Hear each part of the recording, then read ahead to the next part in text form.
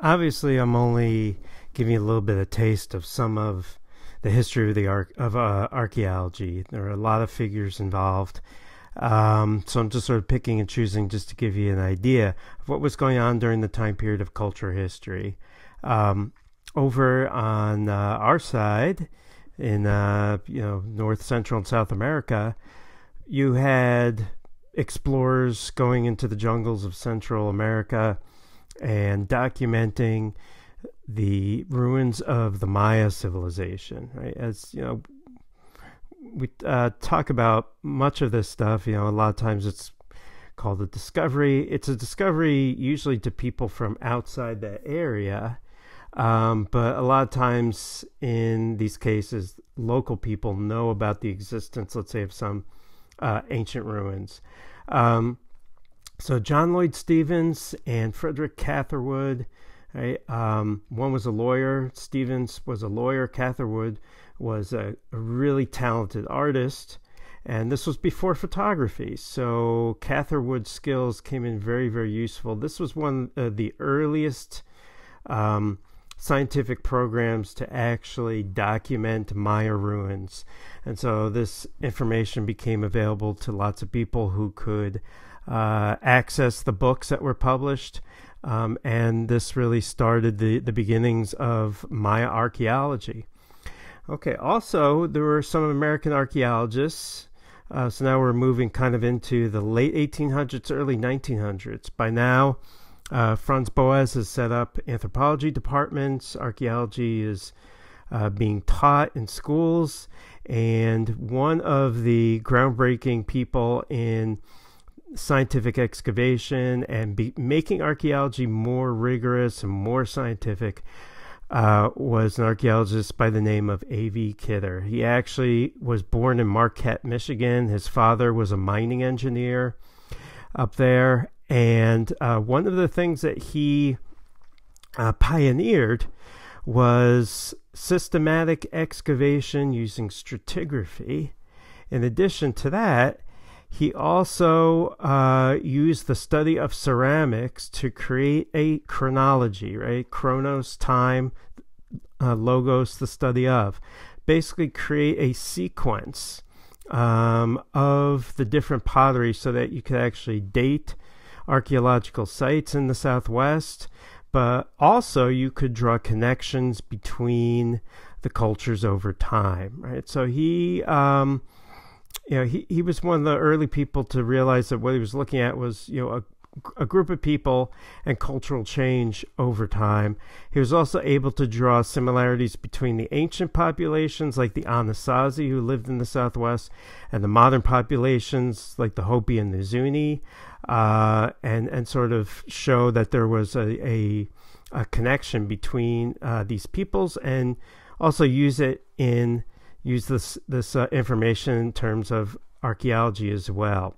Right, so really, really important person in archaeology, especially in the United States. Uh, archaeologists after him adopted most of his methods, so his methods are, became pretty much standard uh, in archaeology.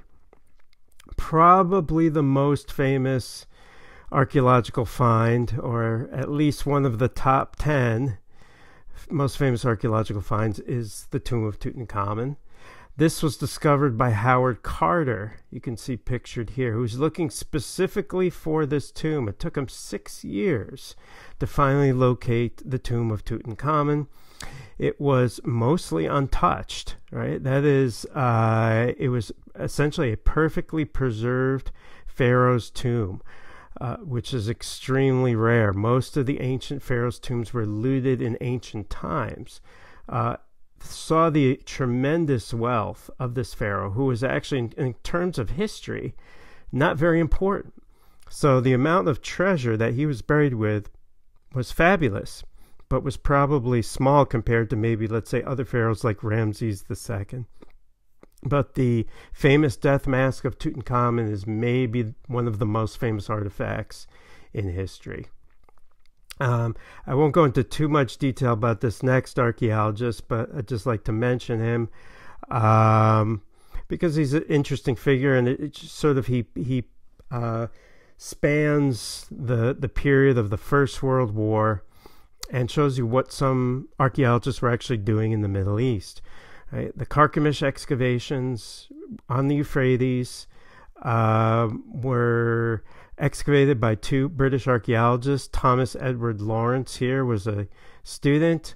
The main excavator was Leonard Woolley. Uh, they were there to, to excavate a Hittite city but they were also there to keep an eye on the Germans who were building a railway uh, and a bridge across the Euphrates River. So it was a little bit of espionage work as well.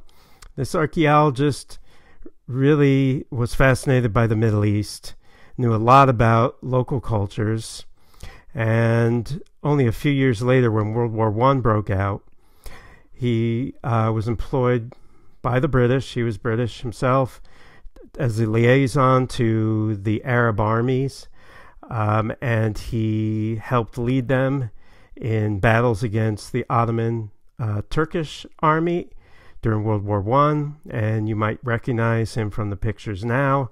This is uh, Lawrence of Arabia, right? So not many people realize Lawrence of Arabia actually started out as an archaeologist. One of his contemporaries was a really fascinating person named Gertrude Bell who was also an archaeologist, and again showing the the um, overlap with with archaeology and then other fields. She ended up becoming essentially a diplomat. She helped found the modern state of Iraq, and she also helped found the Baghdad Museum uh, in Iraq as well. So she was an archaeologist, but also a little bit of a nation builder, you might say, uh, when when Iraq was under British control.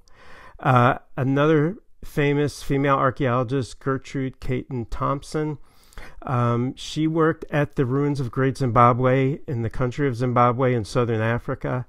She had an all female team, and uh, she proved definitively in the 20s that Great Zimbabwe was built by Native Africans, not by peoples from the outside. And she was able to do this with pottery by showing the similarity and the connections between the modern African pottery in the area and the ancient pottery from Great Zimbabwe. Okay, so the cultural history period was very, very important, obviously.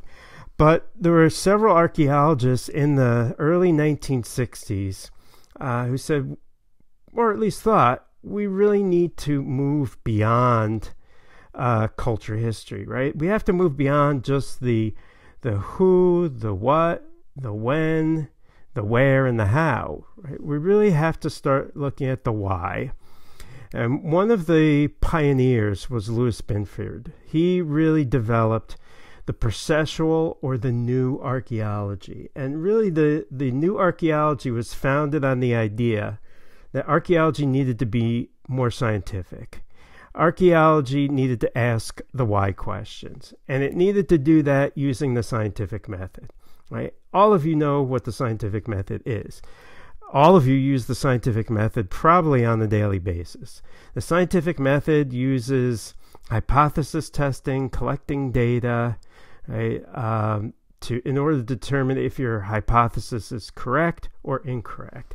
Right? So we, you know, we we use the scientific method for mundane, everyday things like why is my computer uh, working very slowly? Is it the internet or is it my uh, computer? Right. Well, if I turn off my hypothesis is that it's the internet, and to test that, I'm going to turn my Wi-Fi off and uh, back on. And if it improves, then I could probably say, yeah, my hypothesis was correct the modem needed to be rebooted or something like that. Um, if you know my hypothesis is, oh well, my computer is working slow.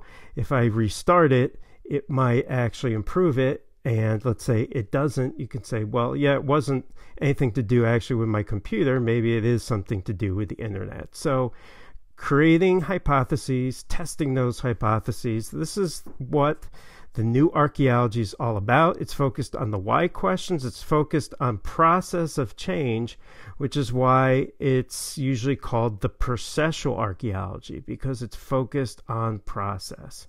Right? Um, so you can set up a hypothesis about um, something in human in the human past, and you can figure out, oh, if I found this, this would test my hypothesis. This would prove my hypothesis, right? So, for example, uh, imagine you wanted to figure out why did ancient people go from collecting food like hunters and gatherers, only going and picking out wild food. Why did they go from that kind of lifestyle to actually agriculture, where they're taking seeds and planting them in the ground and then harvesting their crop later on? Uh, why would they go from one lifestyle to another lifestyle? You could generate a hypothesis, right? Um, pause the video for just a second and write down on your paper or think in your head, you know, why would people do that? Could I come up with a hypothesis? Okay, maybe you came up with something. Maybe you didn't. That's okay, right? But uh, sometimes I hear students say, well, maybe the population got big. People running out of food. They had to think of a way of producing more food. That's a perfectly viable hypothesis that you could test. So, what would you do? Well, you would find a site that dated to the period before and during agriculture and you would look at the houses and let's say maybe the uh, population growth over time.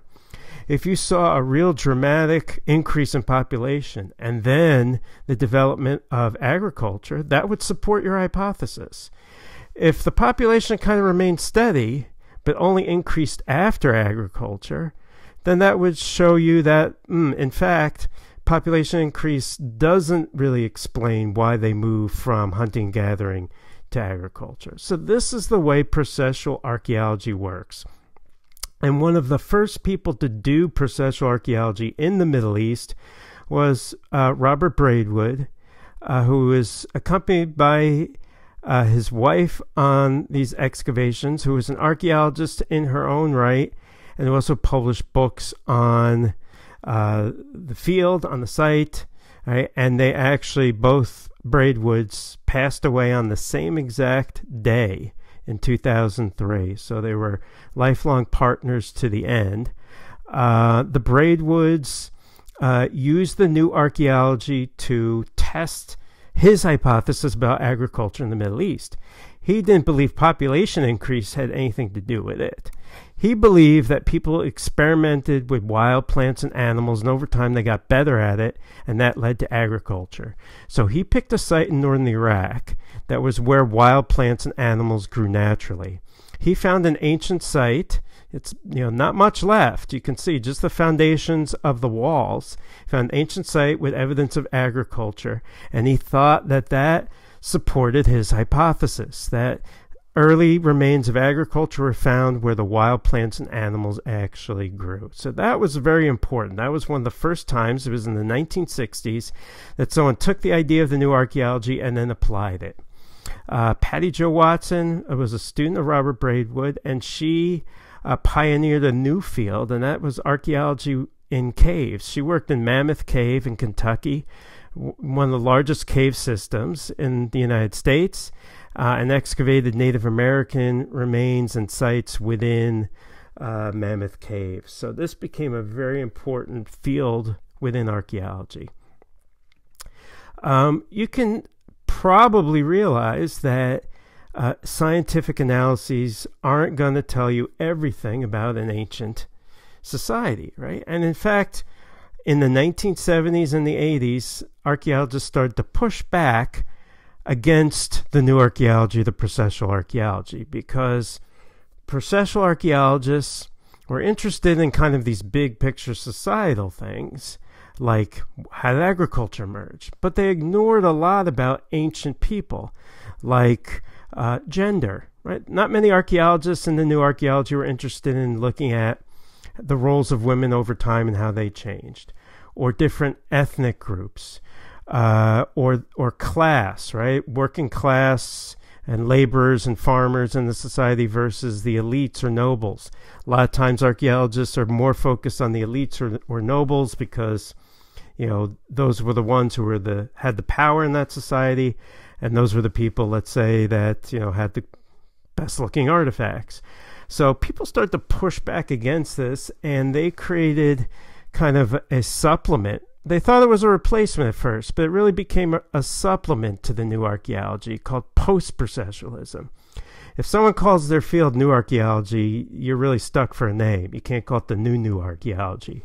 So post processualism, and this the idea behind this was that you really have to um, use other things besides the scientific method, humanities, art interpretation, things like that, in addition to the scientific method. And you need to ask questions about some of these areas that were ignored previously. So today, archaeologists use processualism and post processualism together.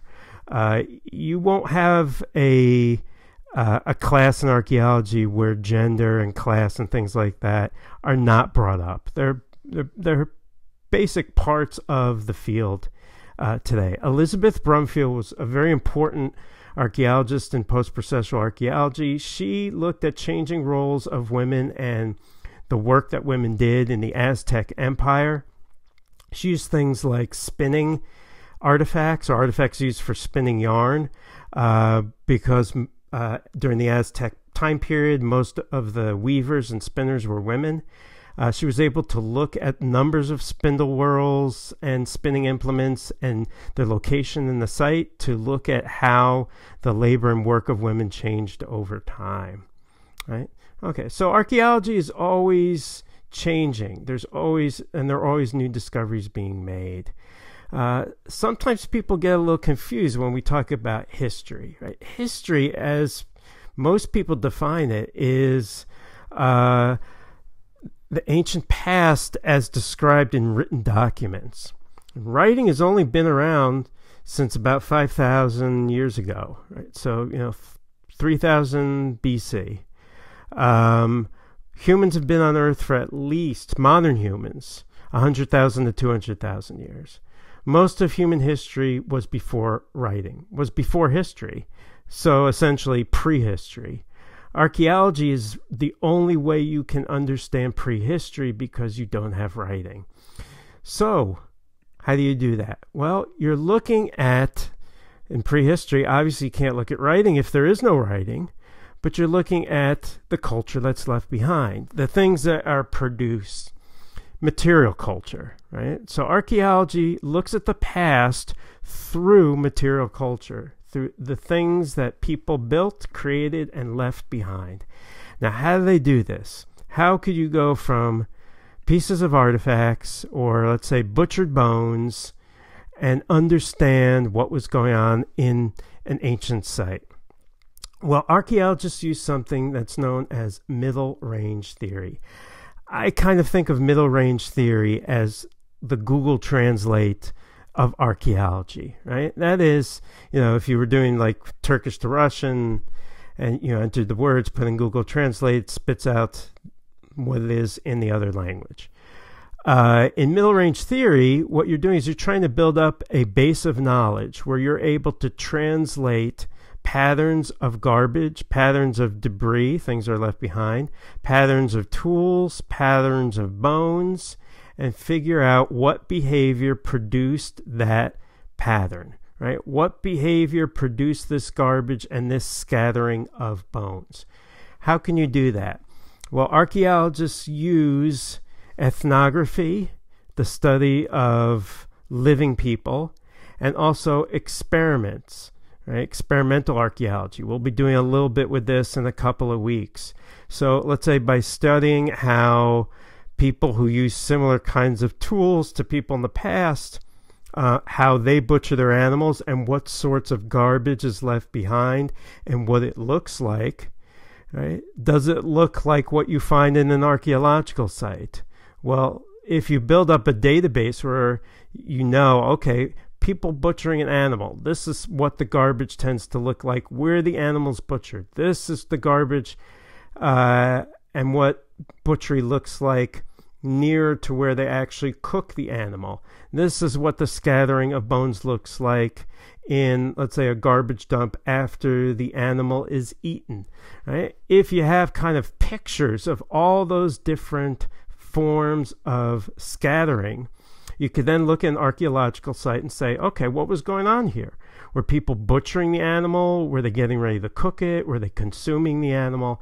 And that is important because you want to figure out what was going on at these ancient sites, right? So you're looking essentially at um, human behavior and human modification of the physical environment. That's middle range theory is the translation tool that archaeologists use to go from the ancient artifacts and debris and discover the behavior that produced those artifacts and debris. Right. Uh, one example I like to use. It's kind of a weird example, but I, I, I kind of like it because uh, I was walking in Chicago in Union Station, you know, where where Amtrak and Metra and the other trains are. And when I was walking through Union Station, it's a station that's you know goes back to the 1800s, built of marble. It's a very beautiful building. But I looked at the steps and I said, "Whoa, look at that!" When you look at the steps, you see these indentations near the edges of the steps. And that's all from humans just walking up and down the steps. This is not done deliberately, right? That is, they didn't set out to make these hollowed out. It's just from the traffic, the foot traffic over time. Right? So this is a little bit like middle range theory. You're looking at um, the evidence and you're trying to figure out what this means, how you can interpret it, and what it tells you. And what it tells you is that people tend to use the handrails. People tend not to walk up and down the middle as much as they do on the sides. Right? Okay, so archaeologists look at material culture. A lot of the material culture that they look at is refuse, is stuff that's thrown away. It's essentially garbage. Right? So a lot of what archaeologists find is garbage, things that were thrown away, that were left behind. Um, so we're going to look a little bit at modern day garbage and how archaeologists have studied modern day garbage to kind of get an idea of how archaeology uh, works. Okay, so like we were saying, archaeologists really, when you come down to it, study garbage. They study ancient garbage. Um, but we're going to see that looking at garbage can tell us a lot. Uh, not just about ancient people, but also modern people. So archaeologists have used their techniques to look at people today and to see if we can learn anything about modern people by looking at their garbage, like consumption patterns. I'm going to show you some examples of this. One thing, though, that I think is kind of uh, funny, uh, you know, and a little bit sort of lighthearted, a little fun, um, was this artist and photographer who um, made displays of celebrity trash. Uh, this person went through trash of several celebrities, laid it out, um, took photos of it, and actually um, had it on display. I think it was a traveling show at one point. Um, but you could you could sort of see a little bit about the person from their garbage. Sometimes you can tell things like uh, what kind of diet they have. Uh, if you were looking at unknown person's garbage, you might be able to figure out their approximate age, maybe their socioeconomic status, maybe their ethnicity, maybe their gender. Um, potentially, all this may, could be learned from trash. So, I'm going to show you some different pictures of celebrity trash and see if you could guess if the trash belongs to Halle Berry, Madonna, Steven Spielberg, Arnold Schwarzenegger, Nicolas Cage, or Ronald Reagan. He was an actor, by the way, so besides being president, so I guess he fits into the celebrity category. Um, okay, so here's example number one Cocoa Pebbles, Dutch Apple, lots and lots of bottled water. This is from a, like more than a decade ago anyway, so it's it's kind of outdated. If you're looking at their trash today, you probably see something different. Cafe Bustelo, which is a uh, I think a Puerto Rican variety of espresso coffee. Uh, here's the next one: Hollywood Reporter, a coat hanger. Looks like dog food. Uh, you know, not not as much bottled water, but Coke, regular Coke. Uh, here we see lots of reading material. Moscow Circus Program, LA Times, New York Times, TV Guide, People. Right? So obviously this person likes to read. Um, TV dinners. Right? It looks like bottles of vinegar. Bra. Johnny Cat kitty litter. Diet Coke and Coke. Maybe that points to two people in the household rather than one person in the household, potentially. Uh, Downy fabric softener, Windex, right? So just some of the things found in there. Here, this person threw a lot away a lot of shoes and flip flops and slippers, including I don't know why you would throw away SpongeBob flip flops. Picture John Travolta, cat toys. Uh, looks like a jacket. This person's just dumping out a lot of good stuff that probably could be used again. Um, and finally, some shredded paper, maybe tax returns, who knows. Um, some other paper, garment bag with pictures cigars on it, Coke, not really that much in terms of bottles. Uh, thing about the Oscars. So let's see who if you can figure it out. So let's take the one with the bra and the Johnny Cat first. Halle Berry, Nicolas Cage, Arnold Schwarzenegger, Madonna, Steven Spielberg, Ronald Reagan. Who do you think? It's actually Ronald Reagan, believe it or not. Okay, how about the one with all that footwear? It turns out to be Halle Berry.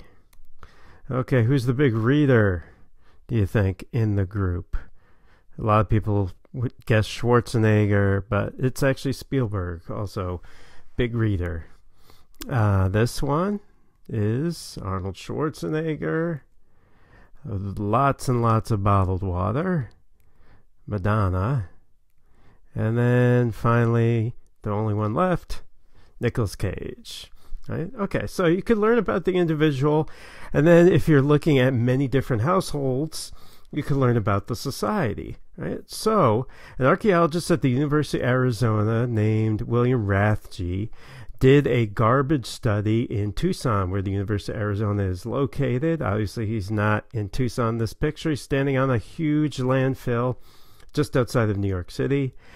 Um, and what he wanted to investigate is the consumption habits um, and see what he could learn from studying trash and people in Tucson. So he went around with graduate students and they asked people questions. Then they looked in those households' trash. Uh, one thing they looked at was alcohol consumption. So they would ask people, on average, how much alcohol do you consume a week?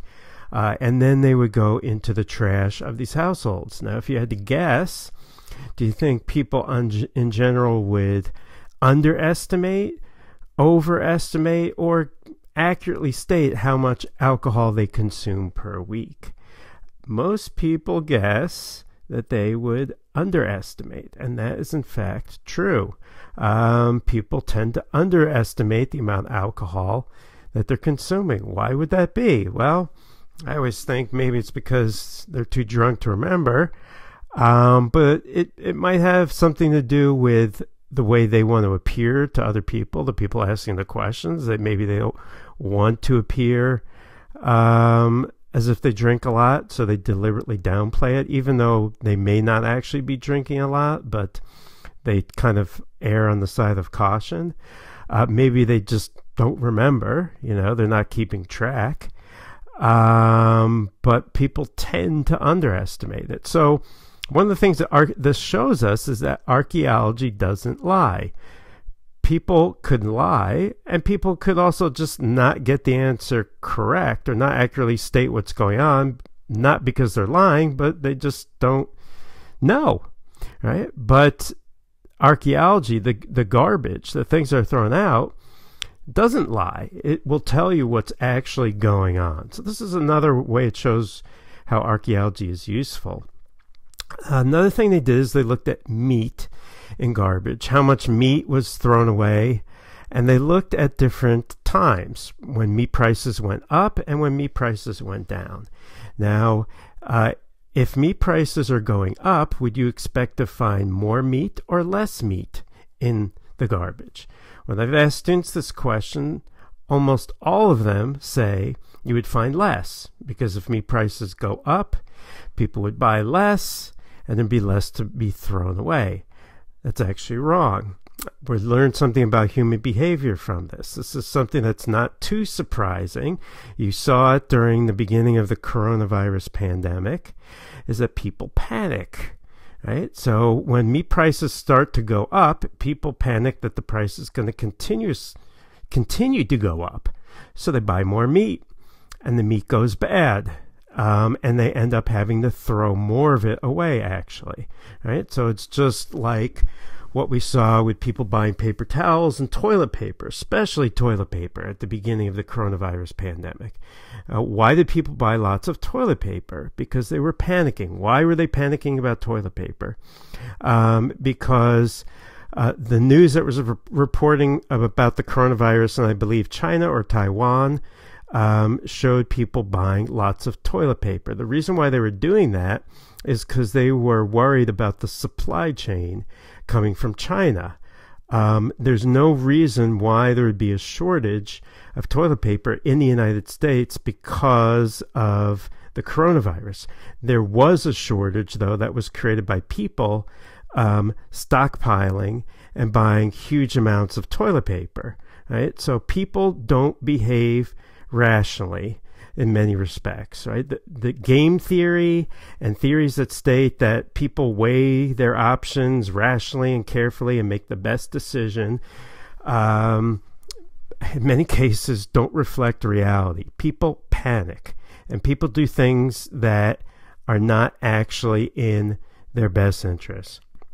Okay, they also looked at lower income, middle income, higher income households to see if the garbage was different in these different households. Lo and behold, it was. So in lower income households, what they found, you know, what would you think the difference would be? Um, one of the things that they wanted to look at was um, generic foods versus name brand foods, right? Um, and this is something that, again, is not exactly what you expect. I would, I always ask students, would you expect lower income people to have more generic brands or more name brands? And they always guess generic brands because generic brands seem to be cheaper, but it's actually name brands. And it's because, not because um, lower income people want the recognition of having name brand stuff is that a lot of them don't have access to generic brand stuff. Uh, a lot of them have maybe one grocery store in their neighborhood that um, doesn't necessarily carry the generic brand stuff. Whereas middle income people that you know uh, maybe belong to something like a a Costco or a Sam's Club or something like that that you know, the equivalent of that at Tucson in the 1980s, um, they had more access to those kind of cheaper generic brands. So it's counterintuitive. It's not what you expect, but this again shows why archaeology is important because things that we assume to be true are not necessarily true. Um, what else did they find in lower income households? They found lots of automotive repair um, products. So, you know, empty cans of transmission fluid and oil and things like that. Lower income people tended to do their own automotive repairs rather than bringing it into a shop. It was probably a way of saving money and probably a way, uh, you know, probably something they maybe enjoy doing. Um, and it was different in terms of middle income and upper income uh, people. What about middle income people? Well, I always think of that scene from Old School, if you've ever seen it with Will Ferrell, where he's describing his weekend to people at a party, college party, and he's saying he's got a busy Saturday, he's going to go to the Home Depot. Um, that's what they found a lot in middle income families. Lots of household repair stuff, empty paint cans, things like that. That's what they were uh, spending their time doing.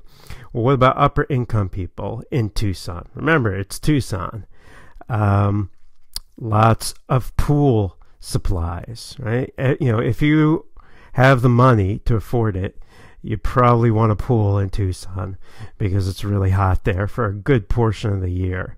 Uh, so this is you know a little wealthier community in Tucson. You could see everyone's got a backyard pool.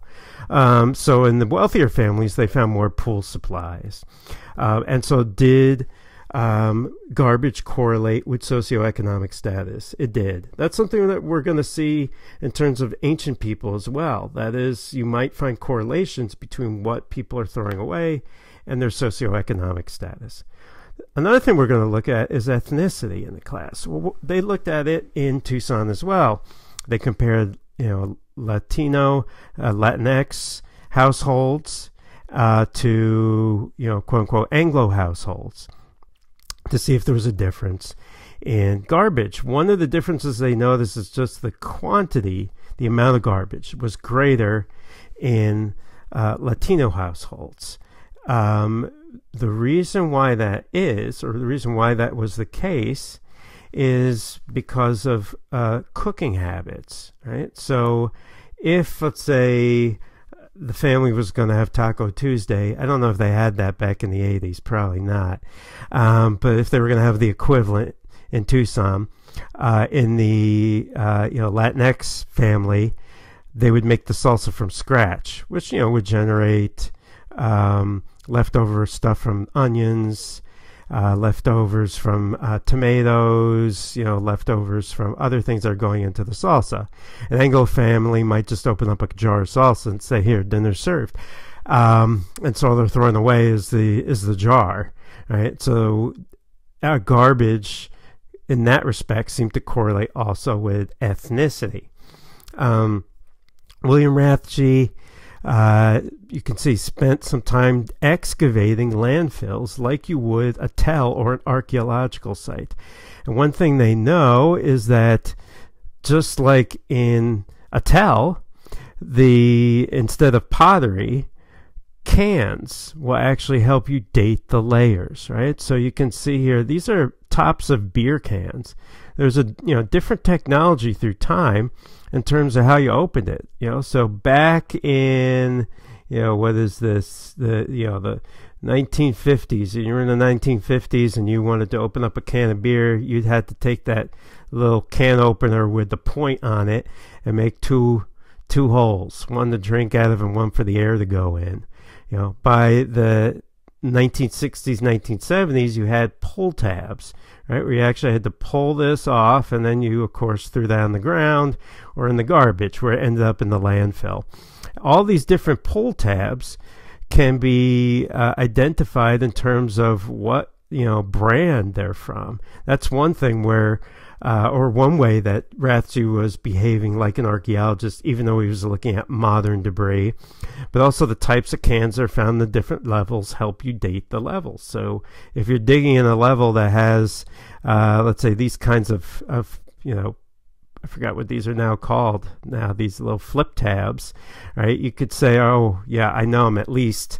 It's 1975 to recent times that time period, right? So you can date the layers using that, just like you would an archaeological site. Now, we throw away a lot of garbage, not surprisingly. I mean, things are changing slowly.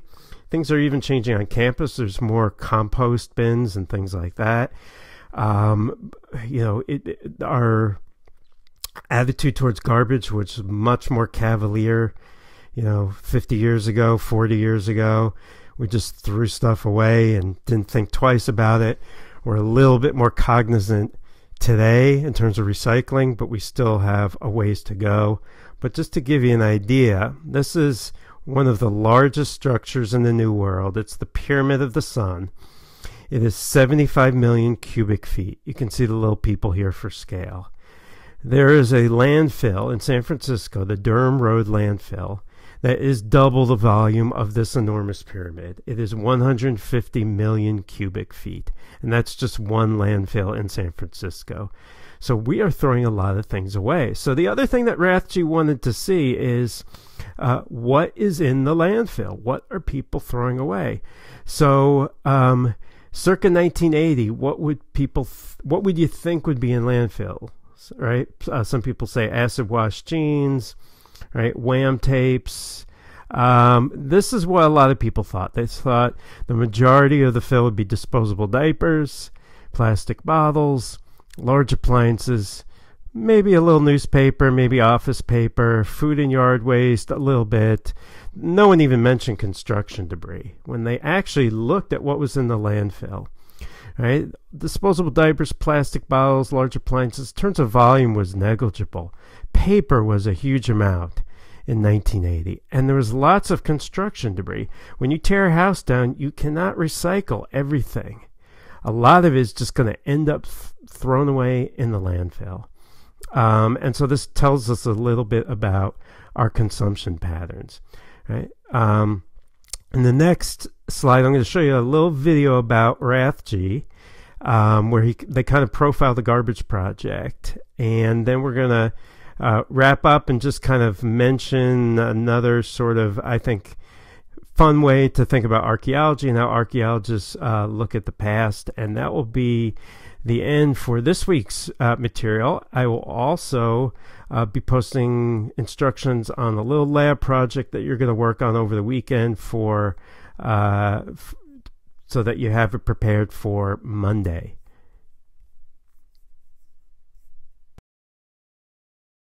I'm an archaeologist, so I was trained to learn about ancient societies by digging up, sorting through, and analyzing ancient garbage. Professor Bill Rathje isn't just talking trash, he's digging it. We're trying to look at today's society the way an archaeologist will in a thousand years without waiting that long.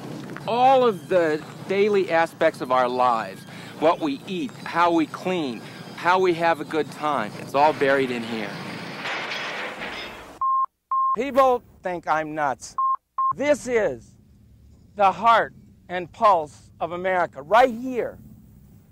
Nowhere else. This is where it all ends up. Feeling that heartbeat is why Rathje helped start the University of Arizona's Garbage Project in 1973. These garbologists perform large scale excavations at landfills across the country.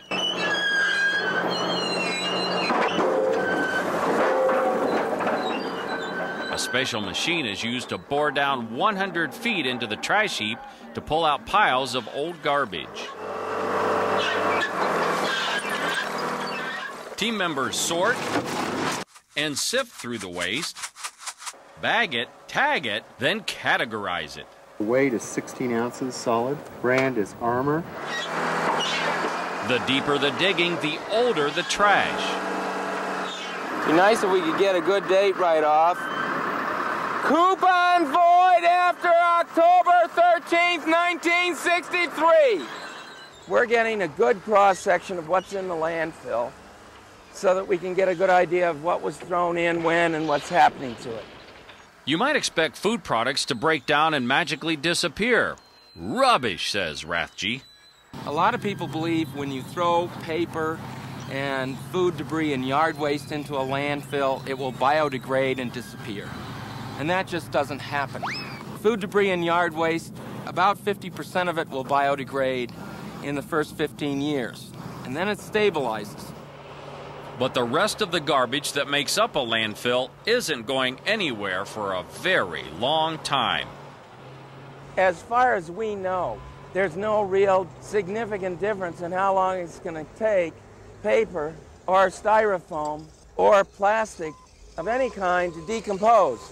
A lot of people think that landfills are being filled up by fast food packaging, styrofoam, and disposable diapers.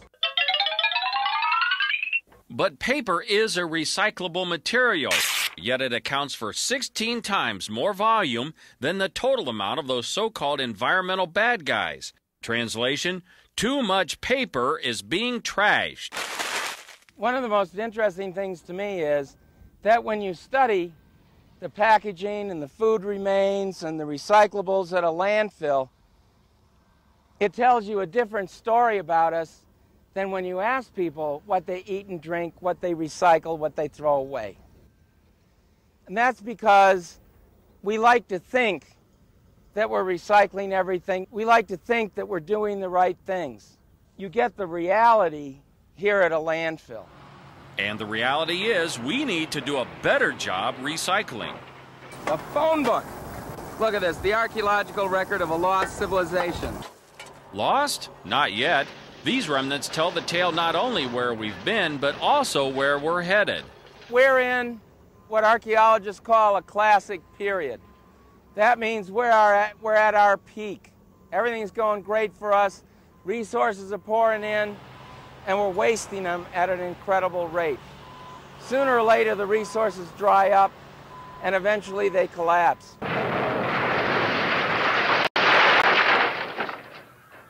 This is not a gloom and doom perspective. This is a perspective based on studying hundreds of civilizations that have come before us. They've all gone through the same cycle. We should definitely learn from the past. We can make our cycle better and more fun to be in by knowing a lot about how to create less garbage.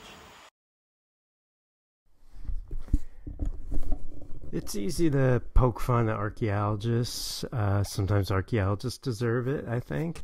Um, a, a, kind of a, a, funny little way that uh, famous author, David Macaulay, uh, poked fun at archaeologists was with his book, Motel the Mysteries, where it's an archaeologist in the future uh, excavating uh, a site from our time period. So, looking at the overhead aerial view of the site, he interpret the future archaeologist interprets this pattern as the landing strips for extraterrestrials. Um, and then the monuments for the different colored religious sects that existed during this time period.